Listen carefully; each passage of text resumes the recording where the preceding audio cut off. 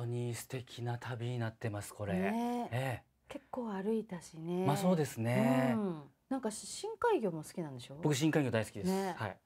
あ、し、そう深海魚。なんかこう亡くなった深海魚、うん。亡くなった？あ触ってた。あ冷凍の。そう冷凍の。そえ亡くなったってね。